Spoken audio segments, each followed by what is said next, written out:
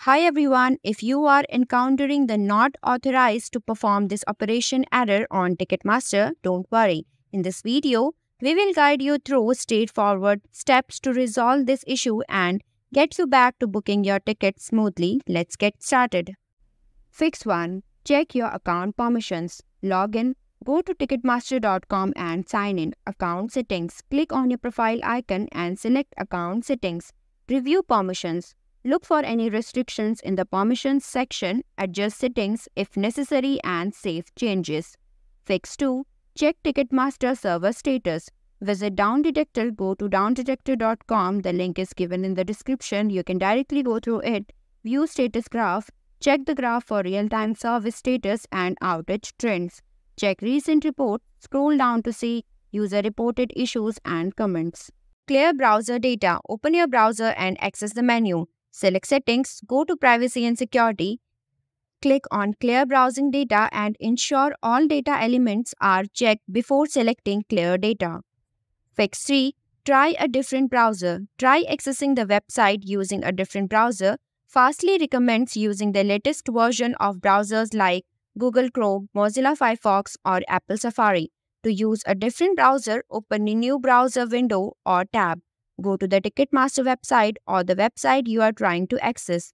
If the issue is resolved, the problem may have been specific to the previous browser you were using. Fix 5. Adjust browser security settings. For Google Chrome, open Settings, click on the three-dot menu in the top right corner and select Settings. Privacy and Security on the left sidebar.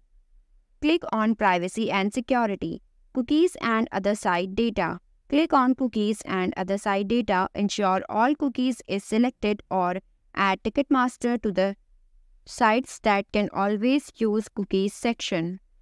JavaScript. Go back to Privacy and Security and click on Site Settings. Scroll down to JavaScript and ensure it is set to Sites can use JavaScript. Pop-ups and redirects. In Site Settings, find pop-ups and redirects.